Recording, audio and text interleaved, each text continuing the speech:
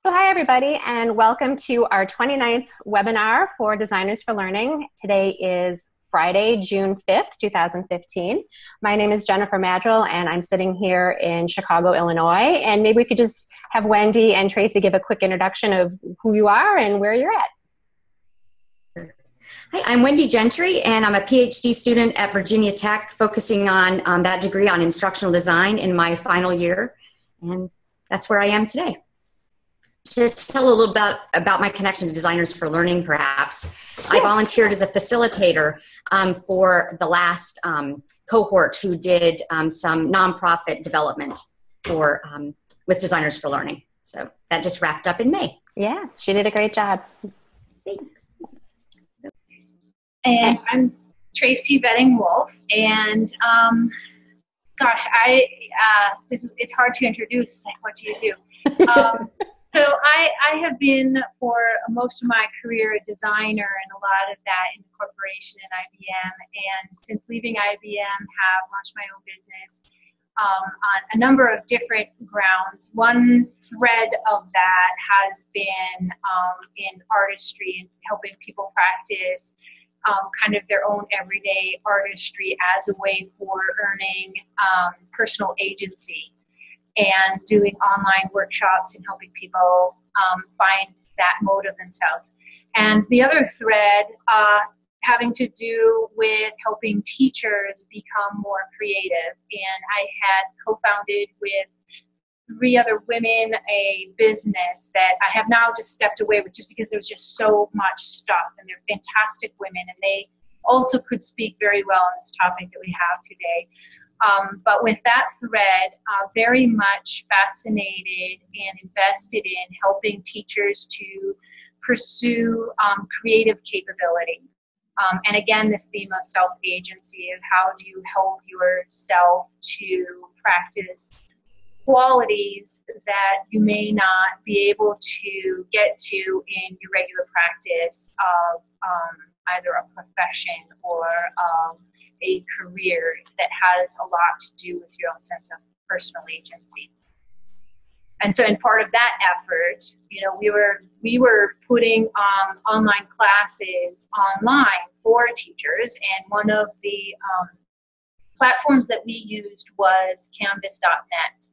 And we uh, were looking at how to make Canvas.net work with the kinds of philosophies and values that we wanted to embed in the uh, participation with the teachers and their overall outlook and the kinds of things that we wanted them to take away from that experience. So. Okay. Okay, and that is exactly why we invited you. Um, and just to give folks a little bit of background around why we we think we intersect and why we may have uh, an interesting conversation. Um, as Wendy mentioned, we facilitate uh, we meaning Designers for Learning facilitates service learning opportunities for instructional design students who want to partner up with a nonprofit and pound away on an instructional design need. And we've been, up to this point, um, purposely making the cohorts relatively small, between, let's say, a maximum of a little over a dozen people down to, I think, what did we have, Wendy, this last time? About nine nine students plus your your facilitators and we purposely did that because with the idea we needed to uh, keep a pretty tight handle on the facilitation aspect. These are virtual experiences. We do have a client where we are working toward a deliverable that will be usable for them. And so maybe uh, uh, an uh, abundance, overabundance of caution, I don't know. We felt we needed to keep the teams relatively small. So Wendy facilitated a team that included three student designers and herself. She also was mentored by a faculty member. I was there as a guide on the side. And so, long, long, long story short, that is a very, very difficult way to manage a course it, from a facilitation standpoint. Um, it, so far, we've felt it's probably um, in some ways helpful for the students to have that degree of um, connection to a, a, a I don't even want to call ourselves experts because we aren't really experts, subject matter experts in the content necessarily we are developing, but expertise in, in terms of the design process. And so in talking, we said, well, what if we kind of flip our, our design approach a little bit, facilitation of the service learning experience, and we opened it up. And we thought maybe even of ways to chunk things. Maybe we would have a, a short MOOC of like six, because currently our, our projects are about 16 weeks long. What if we try to chunk something that we um, tackle in a six week time period. Those that are still interested after that standpoint and want to get into more of like the intensive piece of it, where you're really getting into beyond a tr- prototyping stage to actually getting into some um, uh, more intense development work, that would be maybe a smaller cohort of people. And so that just gives you a kind of a brief, would you say, Wendy, lay of the land of where we're at right now, kind of looking at where we've come and where we're kind of peeking through the crystal ball, saying, would, would this make sense for us to do? And so, um, you know, if you could maybe give us a sense for what your and your colleagues you worked with when you worked on your um, your MOOC on the Canvas.net um, platform, what were some of the design considerations you had in terms of what were your goals? How what, who did you think at the time would be your learners who turned out to be your learners? So just kind of describe for us a little bit of what that experience was like setting it up and then actually as you got into it. Yeah one of our biggest concerns um, was that it had to not be so technically intensive that we would forget about you know that we spent so much more time on getting it to logistically work on a screen that we would forget the, um, the uh, content.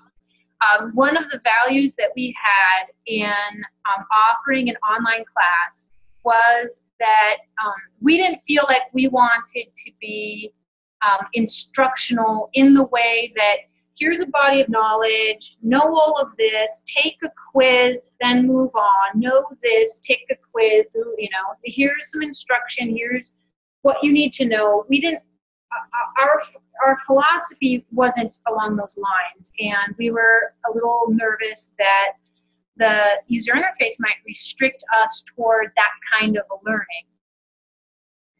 And um, it, and it turned out that we were able to do our more project-based um, uh, kinds of interactions, and that um, the Canvas um, interface then helped us to step through it so that people could follow along and pace themselves together. So it was more of a pacing mechanism than a funnel kind of do this very linear kind of concept with very kind of um, intense instruction, memorize or take notes or whatever, because we weren't we weren't trying to impart um, explicit knowledge. We wanted them to have um, implicit knowledge by doing things, that's where their learning would happen. And so we were able to use the interface to have them step through the various projects and experiences that we scaffolded from them. And then um, we had a conversation about how we would treat grading because of that and how we would use the quizzes because we didn't want to use the quizzes to say, do you now know what you're supposed to know? It, it really wasn't that kind of an evaluation. It was, um, are you internalizing the message that we're trying to um, bring to you? Are you experiencing the kinds of um, uh, it, empowerment, the kinds of practices are, are you able to set into motion these kind of characteristics and qualities for yourself that we're trying to bring into your experience. And so we use the quizzes, you know, this very traditional sense of quiz um, and format within that platform to basically survey and get feedback on is is this bringing to you the intended effect and so that's how we looked at it instead of the more traditional, you know, here's the instruction. Do you now know what we told you to know kind of a thing? Can I ask a quick question? Um, very something you spoke on. It is very, and I apologize if I'm now creating an echo for everybody. Um, but my question is, uh, is along the lines of what you were saying with being a project-based focus versus, as you're saying, a traditional MOOC that's like learn this quiz, learn this quiz, learn this quiz. That's what we do. We're, we're very much project-driven, where there's a, a completed del- deliverable that people are working on. And so, can you speak to that a little bit as far as in your your class with the, the MOOC that you were teaching and designing? What what was the nature of the projects that students were working on? And how did you facilitate even just the basics of sharing it and giving each other mm. feedback on projects those types of things? Yes this is also another interesting dis- uh, discussion that we had. We were very much valuing that this was going to be a peer learning experience and that they really needed to have a, um, a, a forum of mutual support. And so the social aspect of this MOOC was really, really, really important to us. And we were torn about how to support that forum. So inside Canvas, they have a chat discussion area, and um, it can get as simple or complex as you want it to get. So we had we had separate modules, one module for each of the it was five weeks, and we were trying to figure out well, do we want to separate the discussions into five separate discussions then, and what will happen if we separate the discussions um, into just explicit little forums, or have everybody talk in one forum? And you know, there's trade-offs for those things. So it's like really trying to plan the social support into it. So Canvas has that built into it. But we were also um, really wanting to experiment with other social media. Um, and because these were teachers and because Google has made so many resources available to teachers, we really felt that Google Plus as a um, social stream might be a good way to facilitate that social interaction because on there you can it's a good UI you know you can share images movies documents just text it covers everything. You have threading you, you know have all of these things. And so we did both. And we were a little bit trepidatious that we were just creating a lot of overwhelming work for us. And to some extent it was extra work. I found it personally really easy to review the content in the Google Plus forums and really laborious and hard to review the, the forum in Canvas. But it's a personal bias. I, I just consume the Google Plus much better. I find it really easy to um, really to share, sense, respond, do those things in there. And the, the way that the it's I guess it's a matter of design because the canvas uh, forum is so dense with the text. It's not that the conversations necessarily are different. It's just the way that it's presented. It's very dense and um, and I guess the other thing was that sometimes it was really hard to know where you left off last in the discussion, and so you'd end up rereading the thing to figure out where was the last thing. And that to me was like maddening. I was like, oh my god, because this is one of the big tasks is to be really heavily uh, engaged, involved, conversational, supportive, give a lot of attention. This was something that we valued really, really, really much, and people got it. They um, noticed that we were all really involved and took the time to interact with pretty much anything anybody would say. Um, and so, you know, we did both, but I have to say that the canvas.net was where more of the conversation happened. People are not so likely to go outside of a platform to have the conversation. And so a lot of the conversation did happen in Canvas. Um, so that to me is that, you know, that, that just makes it harder for me because I, it's not my preference, but that's where the conversation happened. Um, and I'm sorry, I forgot what was the part two of your question? Yeah, the, the part two was so once the students started working on things and were creating deliverables that were part of the, their assignments or things that they were working on, how did you facilitate them either po- posting it as well as then you or others being able to offer them feedback? Right, and how were the how were the projects structured? How did that all? Yeah, so so an example module we would set up, and then we kind of made a uh, pattern, like a template of this that we repeated each module so people knew what was coming up and how to framework their learning around this. Um, we would introduce each topic with a video, so it's very easy to put videos in Canvas. Um, we would follow a um, kind of a template where the first day was about defining for yourself what something meant. So if, if the topic is curiosity, we're not here to tell you what curiosity is. There's no universal, this is curiosity, okay, you got it, go do it kind of a thing. It's like, well, what does it mean to you? And how do you embody it? How do you explore this? How do you understand this? Say what this means to you, and then we would find kind of that was kind of day one project.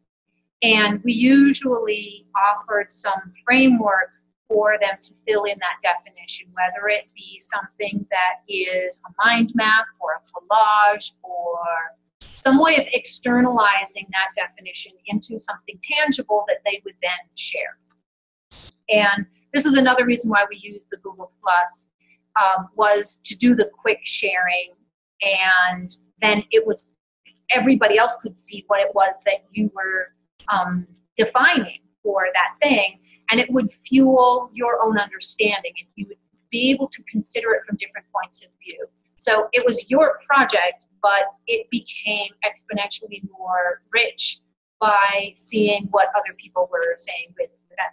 And then the second day was the more intensive exercises where you would need to go out in the world and actively put yourself in that situation. So just using the theme of curiosity, or my, my module, we each took a module that we were responsible for shepherding into making sure that it would happen, but we all shared the coverage of all of them. So the one that I had responsibility for was failure, failing and succeeding. And so um, the kinds of projects that I would put up for um, failing was a crash and burn exercise. So everybody had to go out and do something they knew would not work out and do it anyways and then report back what had happened. And um, and so that's how the social piece of it also comes into play. It, a lot of these projects couldn't be done without the social piece, or not as rewarding or interesting without that social piece. Um, and then and can I ask was, you a quick question? And I, I, I, so I love this idea that you sent them out to the world and then brought them back. And when, just to clarify, when you say you bring them back, is that when you use the discussion forum as a means of them posting? Okay, go find my blog post that I wrote about this or my Google Plus post about it. it the home base for you was always your discussion board as far as the social interaction. Is that right? Yeah, a lot of times it was report back in our shared forums, but there was also this piece of how will you report it. Sometimes we were explicit and said um, you need to report on this by making a blog post and share your blog post, or you need to report on this by making a um, some kind of artifact. And sometimes we would leave that artifact up to them. So it might be an Adobe Voice piece, it might be a Prezi presentation, it might be some other new technology that they hadn't used, and sometimes we would make suggestions, but we wouldn't necess- not always say it had to be again the same kind of thing. But then it had to be somehow digitized so that they could point to it. Because at the very end, and this is the piece that holds it all together, is that we had a journey map, and they needed to put a, a you know a, a digital image or reference for each stage of those that journey map and they also needed a URL to show that they had completed one of the exercises within that module and that they had reflect. So the, the last part of that template is to reflect on it. And that was the last piece. And so they had to do some reflection with each part of the module. And so at the end of each module, the quiz really was an accountability thing. You know, did you do this? What did you get out of this? What are you thinking around this? And then, you know, what's the URL where you posted your you know what you did and your reflection.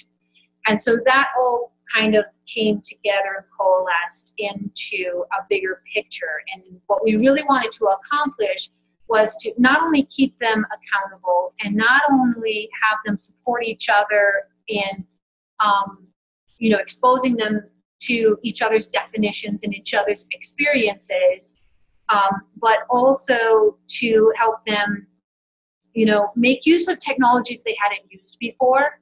They don't get that chance like under pressure like in the classroom. It's not like they're just, oh, I'm going to figure out blogging and here we go. They, here they get to practice it, you know. And, and then finally to create a t- tangible artifact that says, look, I'm on this journey.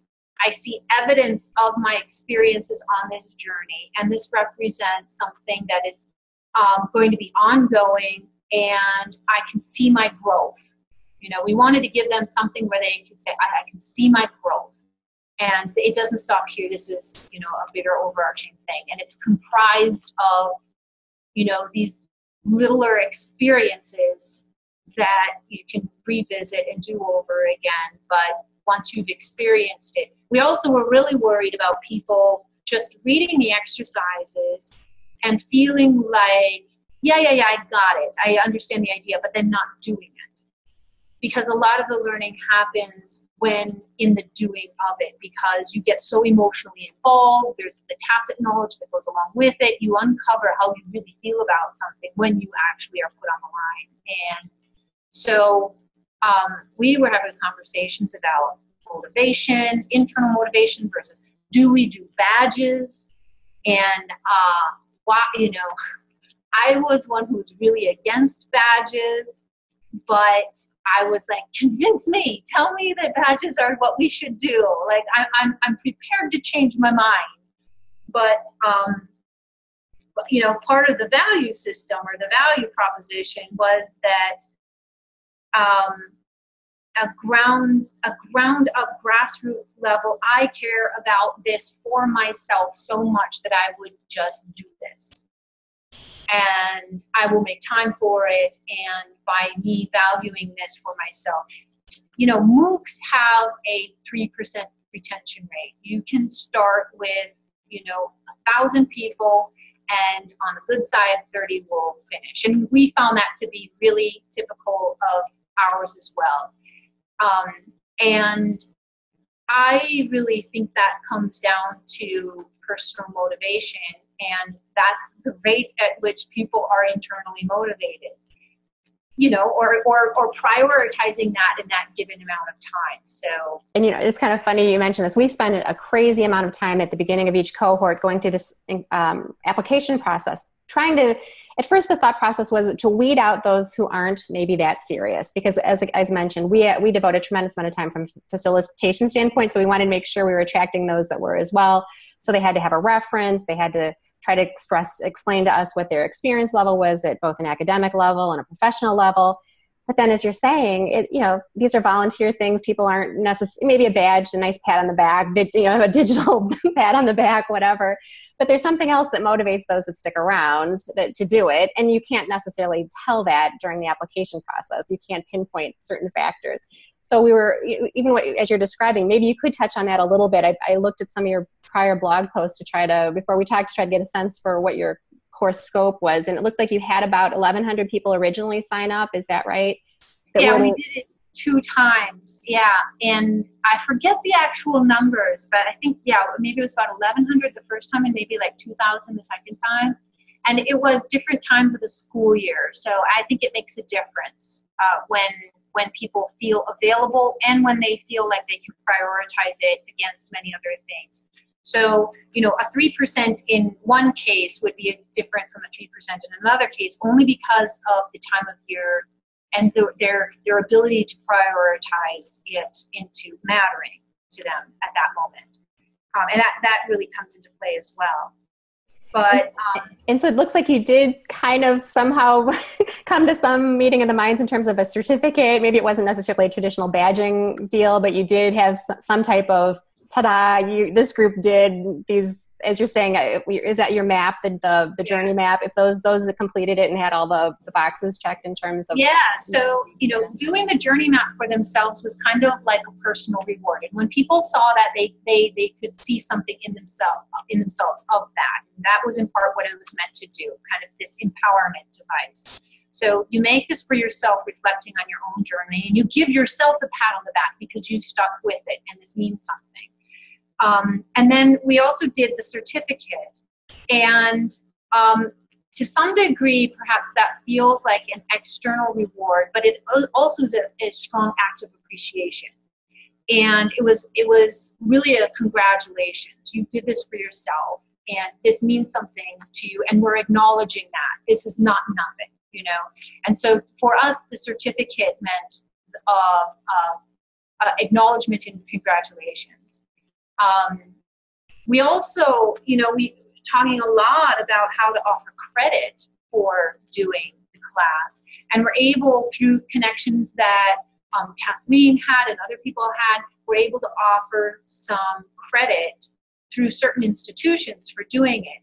And they had, there was a higher level of retention rate for those people. There was accountability, and they had you know a goal, a very specific thing that they were accomplishing for doing that. Um, and it's interesting because the online class was free in every case. You know, it was it was we weren't charging anything for it. Um, but you know, you offer some credit, and you will have those people really pull through in stronger ways. I think because of the accountability measures that are needed that go along with that. Um, the parallels are absolutely incredible. And again scale is very very different but we, we're now this will be our fourth time going through this. And so we've partnered up with for example a student from byu worked through their intern office. They had to have to do a practicum before they graduate the program. And so they were able to use this experience. So we had i had to fill out a couple of forms for them or whatever. But so we definitely also again though the puts a lot of facilitation pressure back. And ours aren't we don't charge either. so someone's got to sit there and make sure these boxes are being checked. But to your point, I think that makes it much more relevant to the, the person who's doing it. And the more you can do that, the more you're going to get people uh, interested. And then to your point, with the cohort we just finished and all the others prior, um, um, as Wendy mentioned, we just finished up. So we sent everybody a letter of recognition. It's not like a reference letter, but it's more like here's what this person did, here's the client they worked for, here's a link to where their deliverable is. It was a team based experience and the idea being when you go on your next job interview, you can say, I've done this. And, yes. and that, that's also valuable beyond just the piece of paper. You have something to talk about during your interview. So. Right, right. Those I think those are kind of artifacts are really important and not necessarily valued as much as or leveraged as much as they could be.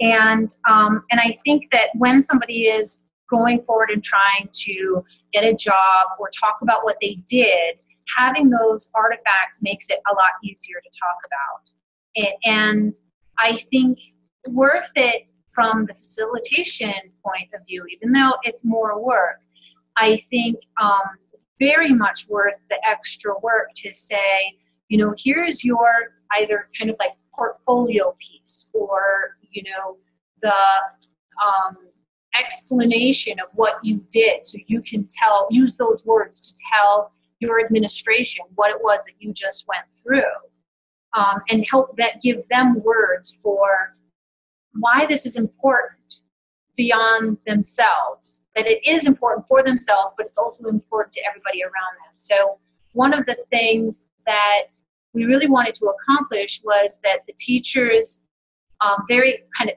that what we were doing for the teachers indirectly just trickled into the classrooms that it would help them adjust their um, their outlook, their mindset, their beliefs, their enthusiasm, refresh them, empower them, help them to make change when they needed to make change, um, and all of those kinds of things. But we didn't ask that outright. It wasn't like, now go into your classroom and do this whole thing, you know? It was like, how can we help you help yourself? And um, providing them with those kinds of artifacts. I mean, we made a poster about all of you know the different ways that well this was for the 21 day challenge that we did out, outside of the canvas um, platform. Made a poster. Here are all the ways that you know you are an empowered teacher. And um, gave that to everybody so that they could put that up on their wall and remind themselves of all of the different ways that they could be practice empowerment and creativity and those kinds of things.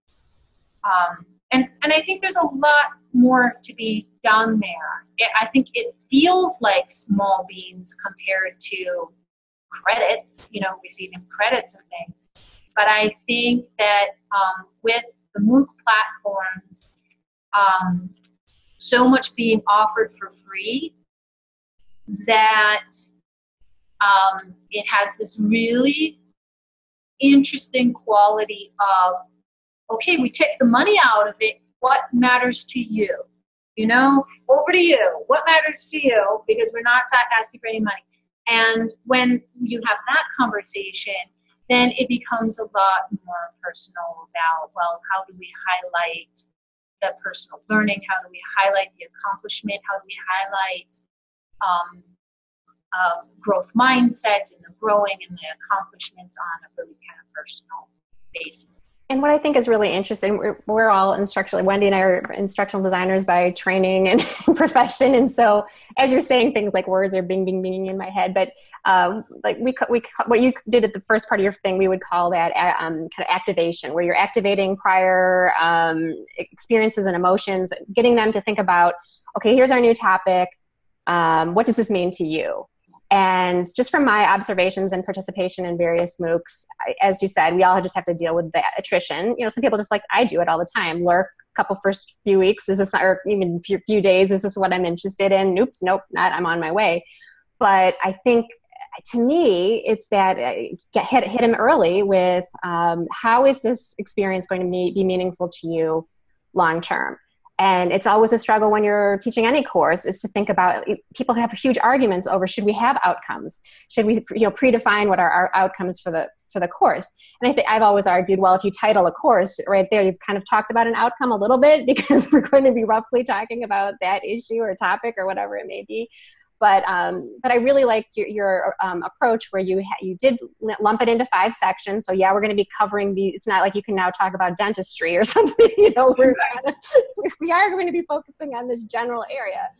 But tell us what you bring to this and why you're interested in those types of things. Um, which I think I don't know, Wendy, if you had the ability to talk right now, do you have any thoughts or comments on on what Tracee's saying, or how this rings true to you as far as what we've done before and, and some of these things we could borrow as we as we go forward? Yeah, I've really found so much synergy that if we change the topic, if Tracee had changed some of the words of the topic was the um, design document and they were reflecting and sharing maybe a piece of the strategy and maybe how they got the students or the learners to practice the content as they were developing this design document. It would be the same kind of thing.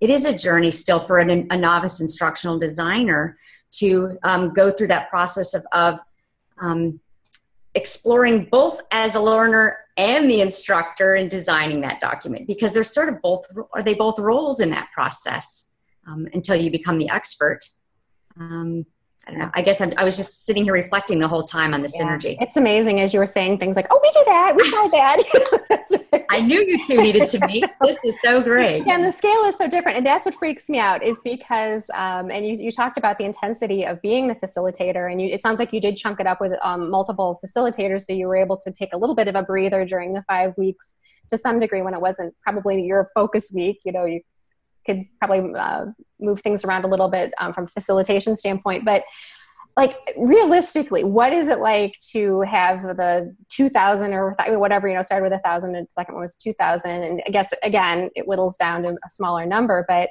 that's a lot of people and, and it's how much time realistically does it take you did it take you to to do this? Was it like a full-time job for those five weeks? No it, no. So that part is not a full-time job. It's more a job of consistency and really like slowing down because this is not like a skim job. It's not like you're scanning the news and taking what you want and not taking what you don't want.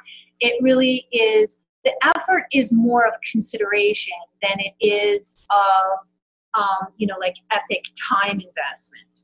And so it is definitely not like a full-time job. It's definitely not like oh my god i just i can't deal with the i mean there's a lot of um, conversation that happens but the challenge is in the thoughtful response more than anything else and that part does take time. And so I would kind of, for a while, I was just doing the strategy of constantly checking or, you know, reacting to the notifications that somebody had said something. And that, that is effective, but it does wear you out because it's a very reactive mode and, you know, you're in the middle of whatever it is, making dinner for your family, and somebody brings up this topic, just okay, let me just take care of this, and then oh, that will that will wear you out quickly. So then I was trying um, a strategy of, you know, morning and night, and let me just go through like nothing. I'm not doing anything else. I'm just at for you know starting at whatever time in the morning and going through everything since the previous day and offer responses to all of those, and then again in the evening. And then, you know, I got to a point where I like, you know what, I could do this once a day.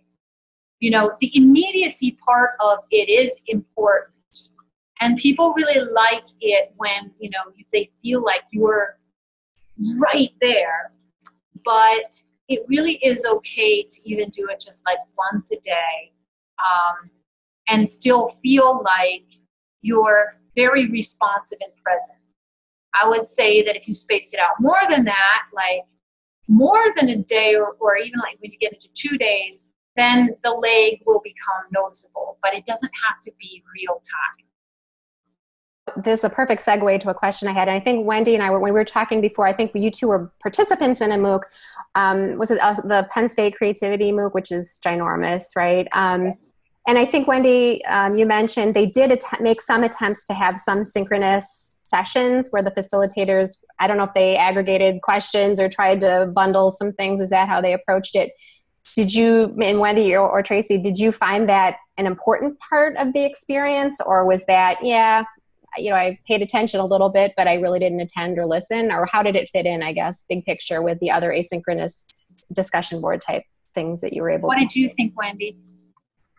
I attended one of the MOOC ups. Isn't that what it was called? A MOOC up? Yeah, I think it was. Something like a hookup, but it was a MOOC up. And I remember Kathleen was on, a, you know, a, a friend that we have is was in I think her questions were selected, or she was chosen as one of the MOOC participants to actually be live with the instructors, and just based on her line of questions. So that was interesting. I missed that, but I saw the recording of that one, and I watched another one live, and I felt like, wow, they're real. They really cared about us. They really connect, and we're such a huge class, and it's it personalized the experience. But then again, I didn't use every single opportunity to do that.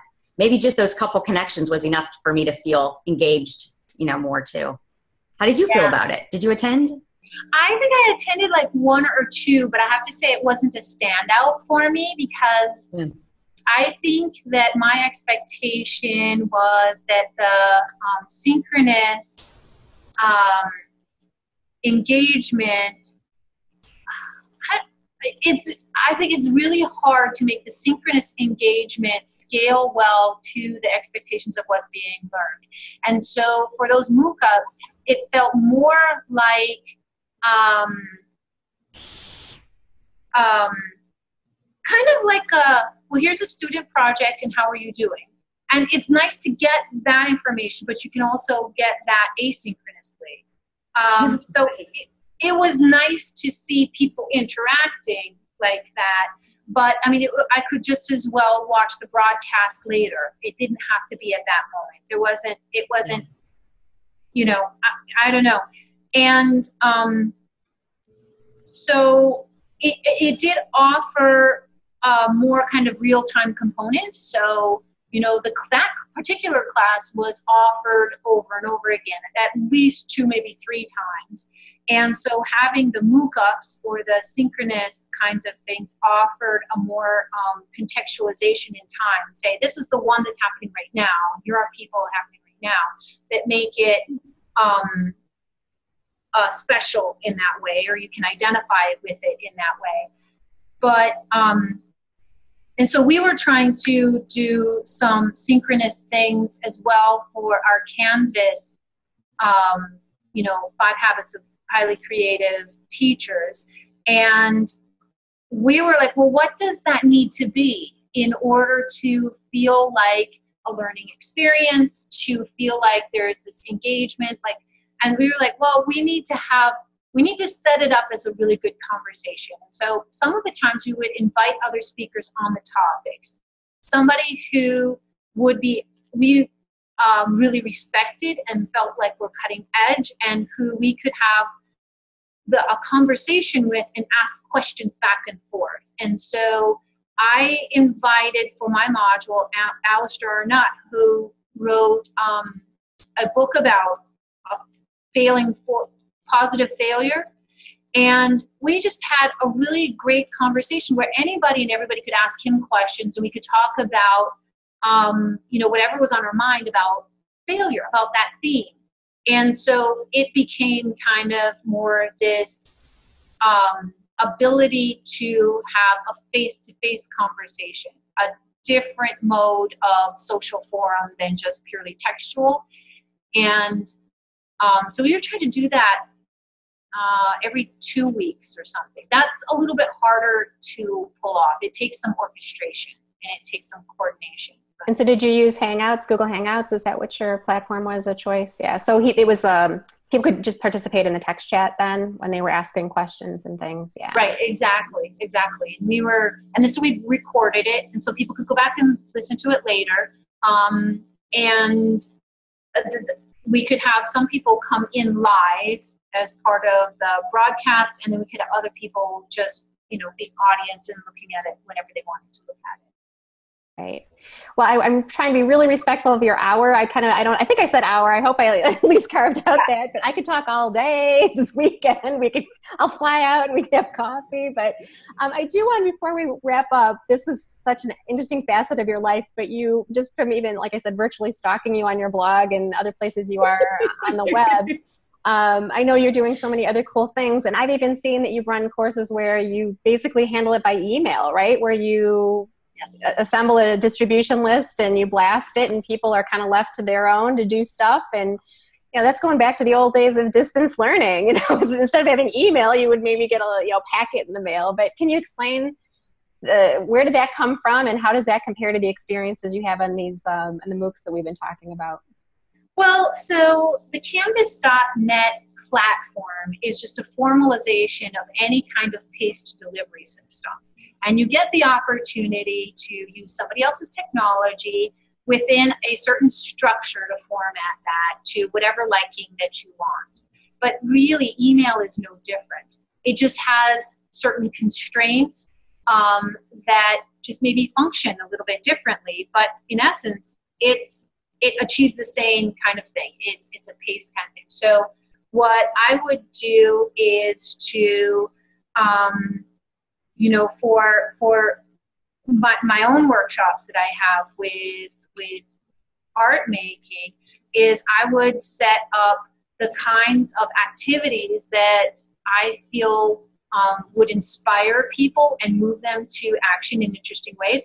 And I would write an email a day based on those themes and based on kind of paced in a certain kind of way that would lead them in a certain experience and have them go out and do something. So I would just use MailChimp, the free version of it, and I would write the email with the topic, the, the you know the concept, why it matters, or how would we think about this, and then give some kind of instruction. Now, the sharing platform is still really important. So the instruction there is to go and to share your work. And I've tried it both with a private community where that's where people would go, you know, they would get their daily email, they would do their thing, and then they would go and um, do the thing and share it on in the um, in the private community. Well, then I was experimenting with, well, why not make this a broader thing?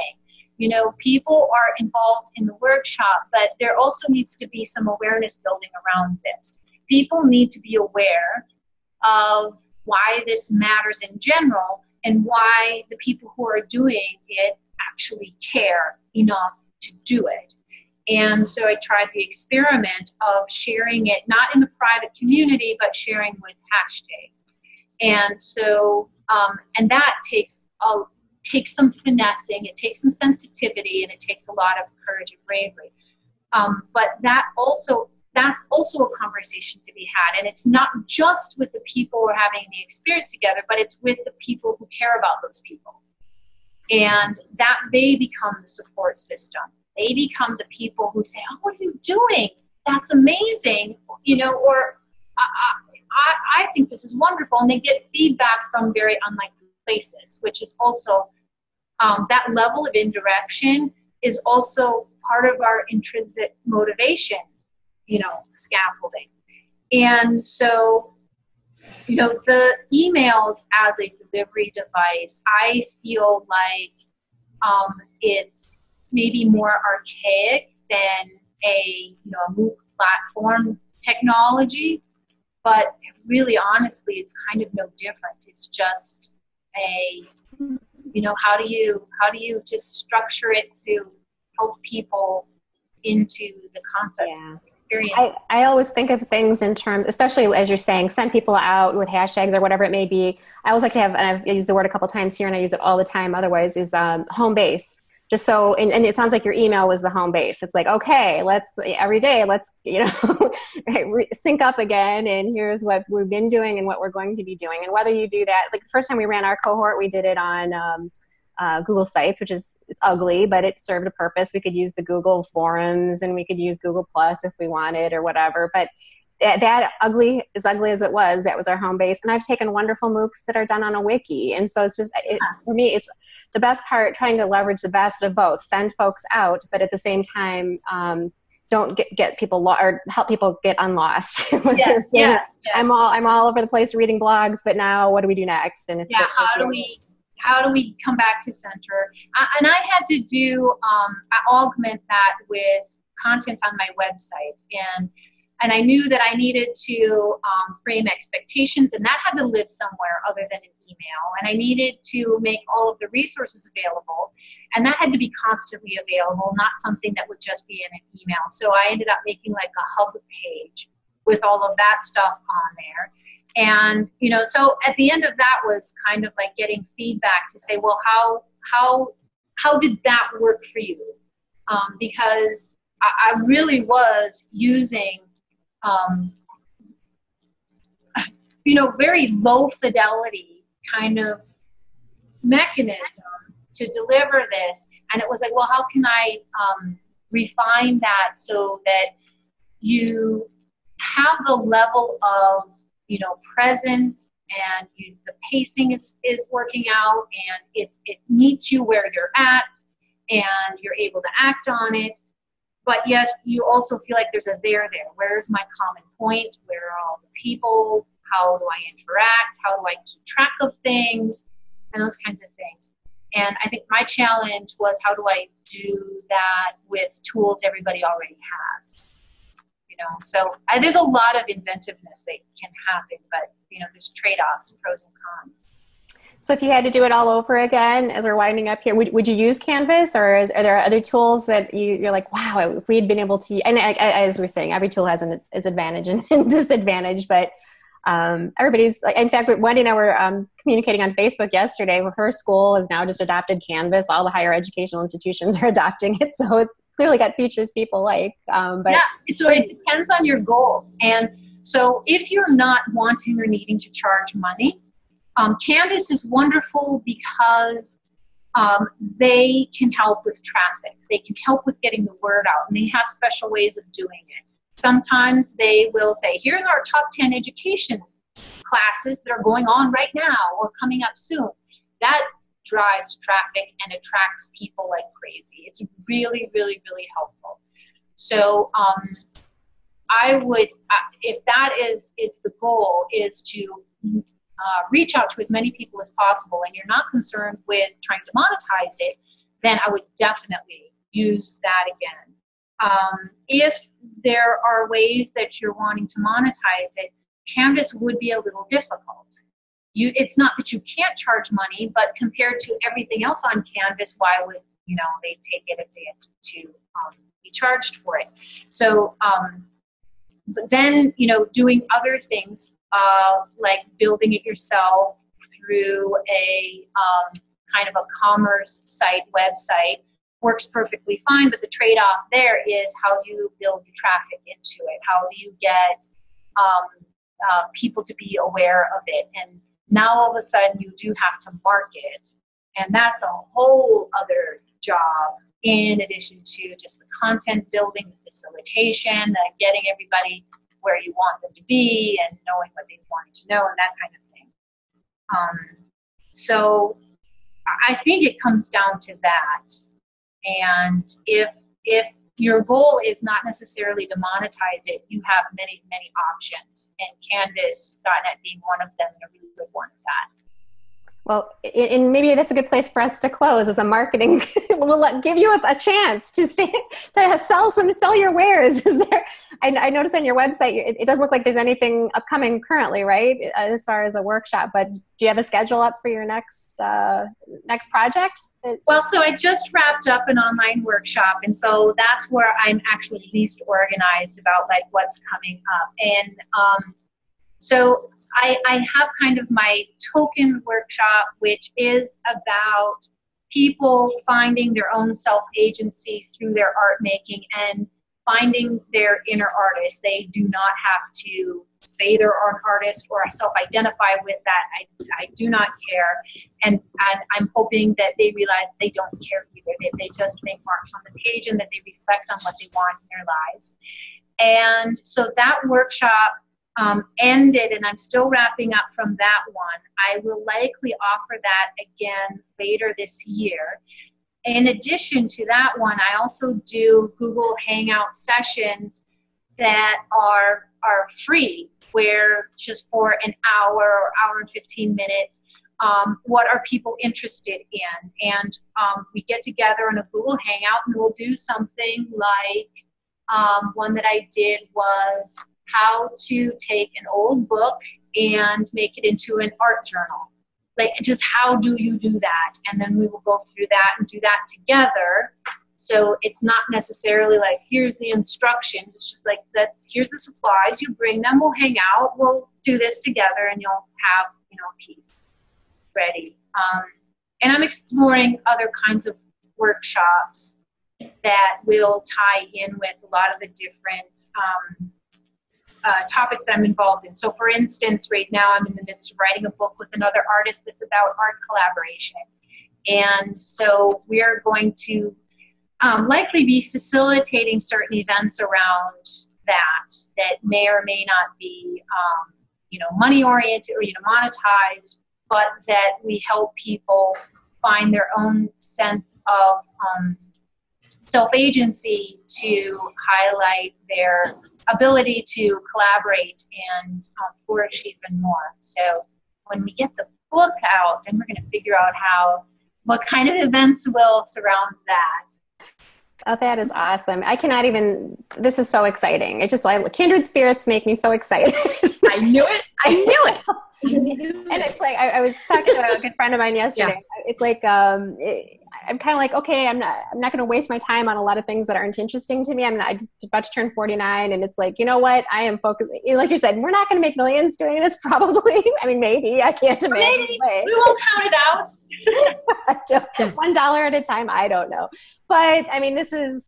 I think we're, and the three of us in particular, we all had jobs, corporate jobs at one point, and yes. tried that, and you know, that's just didn't quite cut it for us. So um, I just really want to thank Wendy for making the introduction. And Tracee, I hope you'll still stick with us a little bit in some capacity to at least guide on the side and let us know if we're you know yeah. down the the wrong track or whatever as we're thinking about it. But um, from as we've been talking yeah. along here, it definitely I think this is a, a path we're going to keep going on, um, and hopefully in the fall we'll get our ducks in a row and be able to to release something um, as well.